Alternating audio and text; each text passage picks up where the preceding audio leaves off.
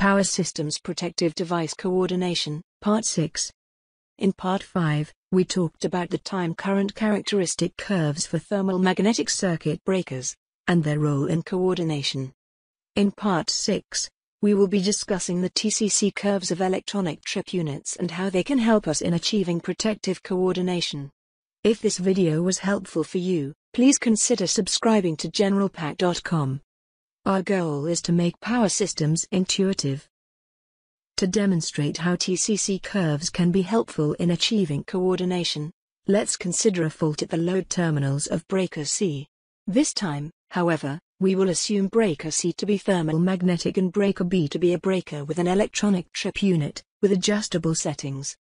We will now plot the curves of breaker B and breaker C on the same axis.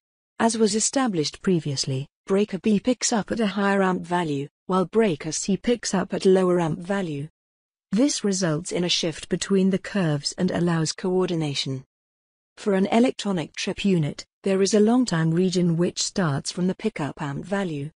This region includes the protection against overloads. The pickup starts from 110 to 120% of the amp rating. There is an adjustable time delay, after which, it enters the short time region.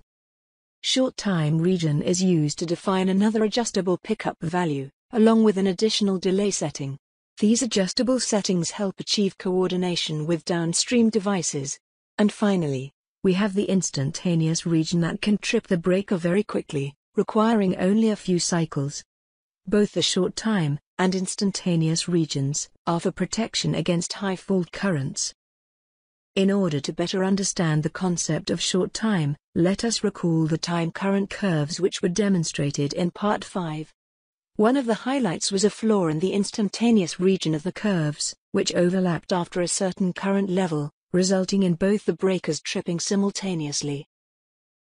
Let's say the maximum fault current on the terminals of the load is 10,000 amps. For this case, we want breaker C to trip first, for all fault levels at 10,000 amps and below.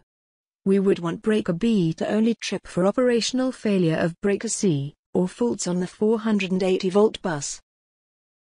This is where the short time region comes into play.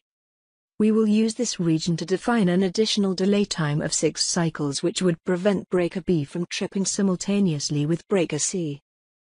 With this scenario, breaker C protects the load, up to the maximum fault level on the terminals of the load.